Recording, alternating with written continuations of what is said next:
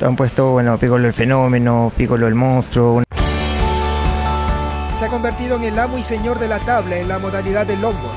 Piccolo Clemente es el actual campeón del mundo y en los próximos días viajará a Australia para recibir tal distinción. Sí, es la premiación que es en Gold Coast en, este- en Australia. Es una premiación bastante grande, están todos los campeones mundiales, así que contento de ser el único peruano ahí. En Huanchaco ha logrado su primera victoria del año y espera conseguir más triunfos. Bueno, esperar la confirmación de la segunda fecha del, del LQS de- del campeonato de longboard.